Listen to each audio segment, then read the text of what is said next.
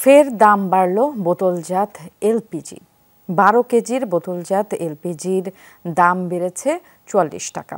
সেপ্টেম্বরে বারো KG LPG সিলিন্ডারের দাম নির্ধারণ করা হয়েছে খুচরা পর্যায়ে এক হাজার চারশো একুশ টাকা। দুপুরে বিইআরসি চেয়ারম্যান জালাল আহমেদ এই নতুন দাম নির্ধারণ করেন যা আজ সন্ধ্যা ছটা থেকেই কার্যকর হয়েছে। শ্রীলঞ্চা আবারও রপ্তানিতে শীর্ষে।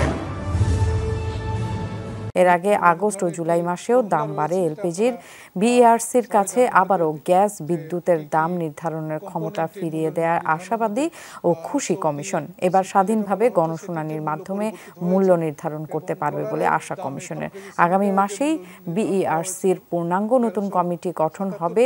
এরপর সিদ্ধান্ত হবে বিদ্যুৎ ও জ্বালানির দাম সমন্বয়ের বিষয়টি। প্রতি মাসে মূল্য নির্ধারণ করা হচ্ছে। প্রতি বারো কেজিতে এখানে বেড়েছে চুয়াল্লিশ টাকা। কোম্পানিগুলি বিক্রি করবে তেরোশো ছাব্বিশ টাকায় এবং তার সঙ্গে পঞ্চাশ টাকা যুগ হয়ে পাইকারি বিক্রি হবে তেরোশো ছিয়াত্তর টাকা, যারা ডিস্ট্রিবিউটার তারা বিক্রি করবেন এবং খুচরা বিক্রেতারা বিক্রি করবেন চোদ্দোশো একুশ টাকায়।